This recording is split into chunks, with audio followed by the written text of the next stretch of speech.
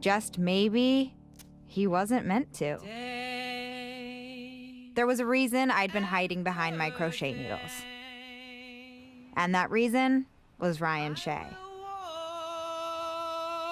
Even after all this time, there was still something between us.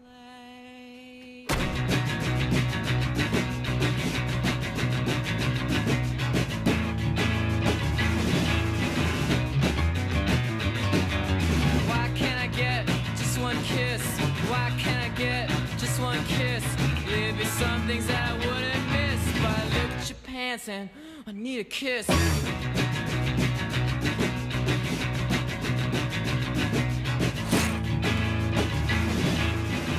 Shoot, can I get you a ginger ale? Why can't I get just one screw? Why can't I get just one screw? Believe me, I know what to do, but something won't let me make love to you.